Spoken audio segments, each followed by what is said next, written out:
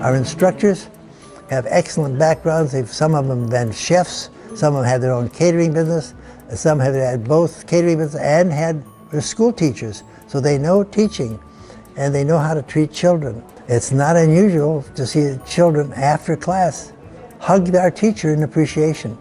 Christine Atkins, one of the uh, teachers, said how the kids love it, love it, love it. My name is Priya. I'm here with Kids Cooking for Life. I'm here to teach what I was taught as a kid. I will never forget learning how to cook when I was a kid and incorporating nutrition into that is really important. My mom always taught me how to garden and teaching kids where it comes from and why it's what we're putting into our bodies is really important. I think making it a fun process makes it easier so that when they're older they can explore more. I think that a lot of kids aren't taught this when they're young enough, so I think that's a great way to start them off at this age.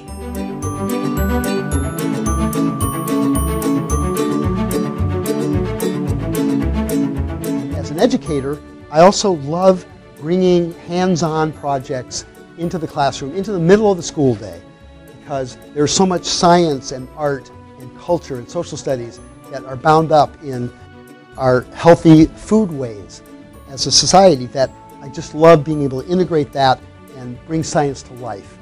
That's what makes our program so important is they're getting education that they're not getting anywhere else. They're not getting it in the schools, they're not getting it from their doctors, and a lot of the parents aren't getting it to them.